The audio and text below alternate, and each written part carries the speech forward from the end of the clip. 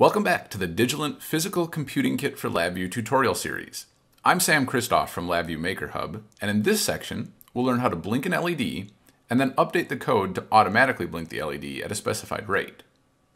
In LabVIEW, I'll click Help and choose Find Examples. This will bring up the LabVIEW Example Finder, which contains hundreds of examples and is a great place to start if you're new to LabVIEW. I'll click on the Search tab and then search for LINX. Then I'll open the LINX Blink Simple VI. I'll double click it and the front panel will open. I'll close Example Finder. And in the serial port section, I'll click the dropdown and choose COM4. For the digital output channel, I'll choose pin 13 because that's connected to an LED on the ChipKit WF32. Then I'll click the Run button to run the VI. It'll take just a second for LabVIEW to establish a connection to the ChipKit, and when it does, you'll see the RX and TX lights flash very quickly or even appear to be solid on. Once that connection's established, I can click the LED on the front panel and the LED on the ChipKit will turn on and off as I click the front panel control. Let's take a look at the code. I'll click the stop button and then I'll press Control E to bring up the block diagram. I'll press Control H to bring up context help so we can see what these VIs are. We can see the first VI is the initialize VI. This establishes a connection to whichever LINX device we're talking to, in this case the ChipKit WF32.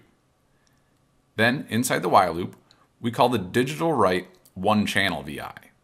We pass it a channel, which is a U8, that we specified on the front panel.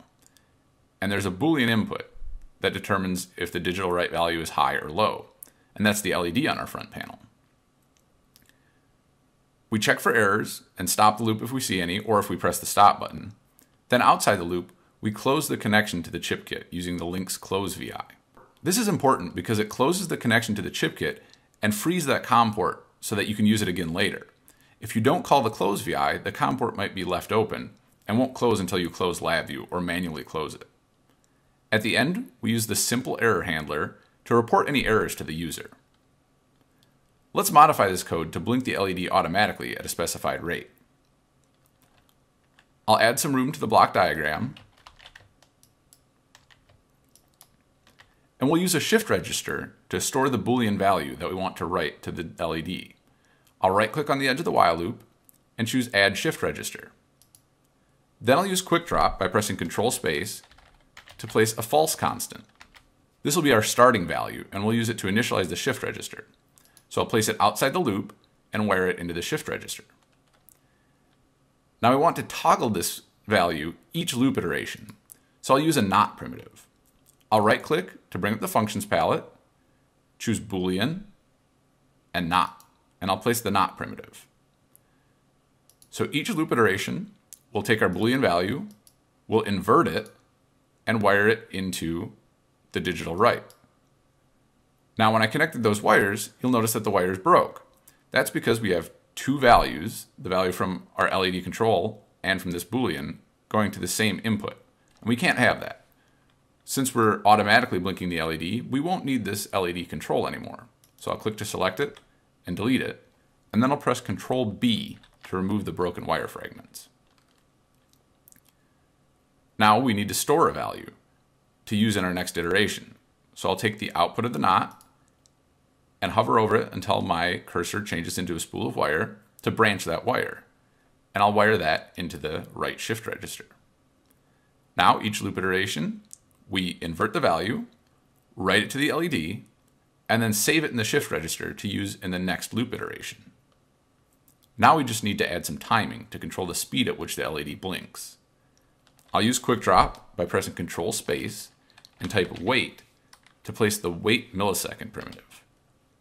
I'll place that inside my loop, and then on the input terminal, I'll right click and choose create constant.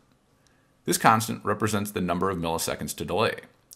To start out, let's delay one second each loop iteration. So I'll type 1000. Now we're ready to run our VI. I'll click the run button and we'll wait just a second for LabVIEW to establish a connection to the ChipKit. Once it does, the RX and TX lights will flash and you can see that the LED turns on and off at a one second interval. I'll switch to the front panel and click stop to stop the VI. Let's update the code so that we can modify the rate at which it blinks while it's running. I'll click back on the block diagram and right click on the 1000 constant and choose change to control. This will change that constant to a control. And if I double click on it, we can find it on the front panel and I'll just move it into a little more convenient place. Now we can type a value in here and update the delay as our program is running. So I'll click run. And again, we'll give it just a second to connect to the ChipKit. And we can see our LED is blinking at a one second interval. And then I'll change it to 500. Now the loop delays 500 milliseconds each iteration. And you can see the LED blinks faster. Let's try 100. And the LED blinks even faster and let's try 10. And at that point, it looks like the LED is almost solid on. So that does it for our basic blink example. Make sure to join us next time when we'll learn how to control multiple LEDs. Make sure to check out LabViewMakerHub.com for more tutorials and projects, and ask any questions you have on the MakerHub forums at LabViewMakerHub.com/forums.